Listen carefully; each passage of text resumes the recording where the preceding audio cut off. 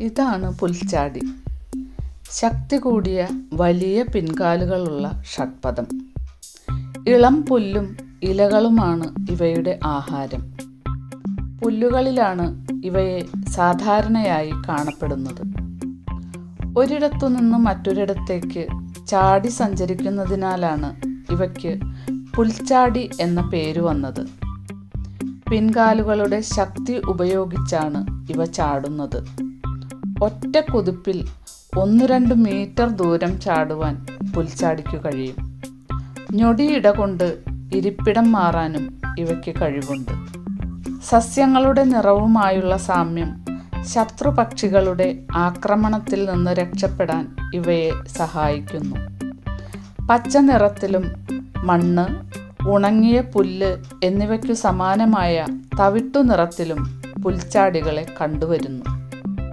ഭൂമുഖത്ത് ഇരുപതിനായിരം ഇനം പുൽച്ചാടികൾ ഉള്ളതായി പറയപ്പെടുന്നു. പച്ചക്കുതിര പച്ചത്തുള്ളൻ പച്ചപ്പയ്യ് പച്ചച്ചാടൻ പുൽപ്പോത്ത് തത്താമുള്ള് പച്ചിലപ്പശു എന്നീ പേരുകളിലും പുൽച്ചാടി അറിയപ്പെടുന്നു. പുൽച്ചാടിയെ മനുഷ്യൻ ഭക്ഷണമായി ഉപയോഗിക്കാൻ തുടങ്ങിയിട്ടുണ്ട്.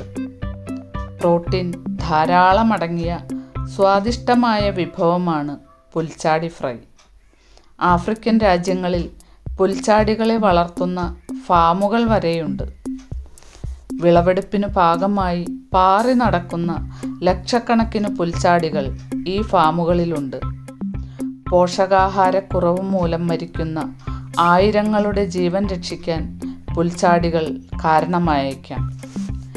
ജീവിതശൈലി രോഗങ്ങൾക്കുള്ള പ്രതിവിധി കൂടിയാണ് പുൽച്ചാടി വിഭവങ്ങൾ എന്നും പറയപ്പെടുന്നുണ്ട്.